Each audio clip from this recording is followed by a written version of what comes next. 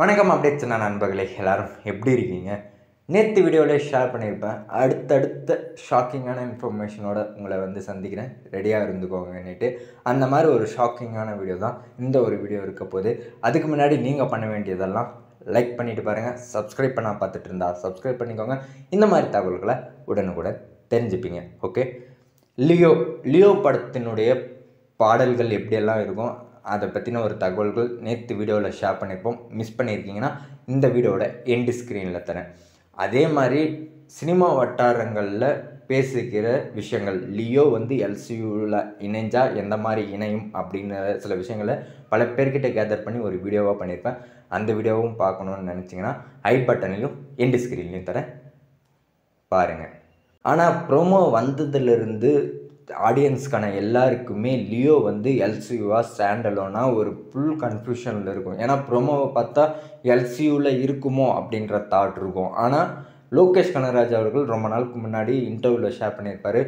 எல்சியோட connect ஆகி அது தொடரும்னா அந்த ஒரு படத்துடைய டைட்டிலுக்கு கீழே எல்சியூன்னு கொடுப்பேன். அப்படி இல்லைன்னா அது லோகேஷ் கனகராஜ் ஃபிலிம் மட்டும்தான் வரும். ஸ்டாண்ட் அலோன் மூவியாக இருக்க போகுது அப்படின்னு சொல்லியிருப்பார். இந்த ஒரு படத்தில் ஏன் மென்ஷன் பண்ணல? ஒரு வேளை சர்ப்ரைஸாக இன்னும் என்கேஜிங்காக பண்ணணுன்ட்டு பண்ணாமல் வச்சுருக்காங்களா? இந்த மாதிரி தாட்டெல்லாம் எல்லாருக்குமே இருக்குது சில பேர் ஸ்டாண்ட் அலோன் இல்லை அப்படின்னு சொல்லிட்டு இருக்காங்க. ஆனாலும் அந்த ஃபுல் கிளாரிஃபையோட யாருக்கும் தெரில இல்லையா? ஸோ என்கிட்ட கேட்டுக்கிட்டாங்க. நீங்கள் டைட்டில் முத கொண்டு கரெக்டாக சொல்லிட்டீங்க. நிறையா இன்ஃபர்மேஷனும் கரெக்டாக எப்போ இருந்தோ சொல்லிட்டுருக்கீங்க. ஸோ உங்களை நம்புகிறோம் இது எல்சிவா இல்லையான்னு மட்டும் உங்கள் சோர்ஸ் கிட்டே கேட்டு சொல்லுங்கள் அப்படின்னும் போது நாமளும் கேட்டோம். நமக்கும் தகவல் கிடைச்சிது. அதுதான் அந்த இடத்துலையும் நம்ம ஷேர் பண்ண போகிறோம் ஆனால் நம்ம சோர்ஸ் வந்து நமக்கு ஒரு சஜஷன் பண்ணார். நம்ம வீடியோவை பார்த்துட்டு என்ன சொன்னார் அப்படின்னா நீ தகவல் கிடைக்கிது சொல்கிற கரெக்டாக இருக்குது அதெல்லாம் ஓகே ஆனால் உன் சோர்ஸ் சொல்கிற விஷயங்கள் ஒரு கான்ஃபிடெண்ட்டாக நீயே சொல்ல மாட்டேங்கிற. இன்ஃபர்மேஷன் கிடச்சிச்சு அப்படின்னு வந்து வீடியோ பண்ணுறத தவிர ஒரு கான்ஃபிடெண்ட்டாக தன்னம்பிக்கையோட வீடியோ பண்ண மாட்டேங்கிற. இதுதான் நடக்கும். இதுதான் அப்படி தான்னுட்டு ஏன் அப்படின்னு கேட்டார். அதுக்கு நான் சொன்னேன் நீங்கள் சொன்ன மாதிரி நான் மாஸ்டர் டைமில் இருந்தேன். ஏன்னா சோஷியல் மீடியாவே ஒரு விஷயம் பேசிகிட்டு இருந்தால் அப்படி இல்லைன்னா ஆப்போசிட்டாக நின்று பேசினவன் நான். அப்படி பேசிகிட்டு இருக்கும்போது உனக்கு மட்டும்தான் தெரிற மாதிரி தனாவுட்டாக பேசாதன்னு கமெண்ட்டெல்லாம் வச்சு அப்படியே நான் குறைச்சிக்கிட்டேன். ஓவர் கான்ஃபிடென்ட் கொடுக்குறேன்னு நீனு சொன்னாங்க. அதனாலவே தாழ்த்தி பேச ஆரம்பிச்சுக்கிட்டேன் அப்படின்னேன் மற்றவங்க கமெண்ட்ஸ்க்காக உன்னுடைய கான்ஃபிடென்ட்டை நீ இழக்காத அப்படின்னாரு.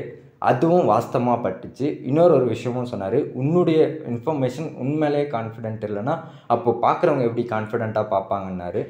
ஆமல்ல. அந்த கான்ஃபிடென்ட் மாஸ்டரில் பேசுனதுனால தானே நமக்கு ரீச்சும் இருந்துச்சு அந்த டைம் தேங்க்ஸ் தலை நீ சொன்னதுக்கு. அப்படின்னு தான் தோணுச்சு. ஸோ இனி நமக்கு கிடைக்கிற இன்ஃபர்மேஷனை கான்ஃபிடென்ட்டோடு ஷேர் பண்ணுவோம். நான் சொல்கிறது தான் எனக்கு கிடைச்சது தான் அப்படின்ட்டு ஸோ அப்படி என்ன கிடைச்சதுன்னு நீங்கள் கேட்டிங்கன்னா வாரிசு படத்தில் சொல்கிற மாதிரி தளபதி அவர்கள் ஆக்கு பாக்கு வெத்தலை பாக்கு கொடுக்க போகிற பெரிய ஷாக்கு அந்த மாதிரி ஒரு ஷாக்கு தான் நமக்கு நம்ம சோர்ஸை கொடுத்தாப்புல.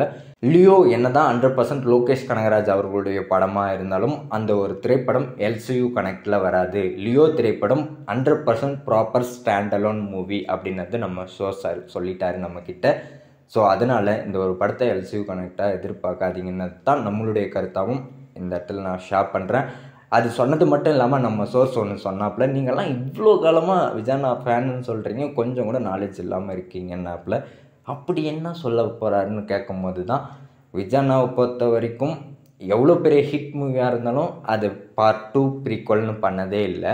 அதே மாதிரி ஒரு ஜானரை டச் பண்ணிட்டு அதே ஜானருக்கு அதே வச்சு இன்னொரு படம் பண்ணதே இல்லை. அப்படி இருக்கும்போது மாஸ்டர்லேயே ட்ரக்கை பற்றி எடுத்துட்டாரு. திருப்பியும் அதே கான்செப்டை திணிக்க மாட்டார். ஸோ அப்படி இருக்கும்போது பார்ட் டூக்கு கொண்டே வர மாட்டார். ஸோ இதெல்லாம் எப்படி நீங்கள் எதிர்பார்க்குறீங்க அப்படின்னு தான் அவர் கேட்டார்.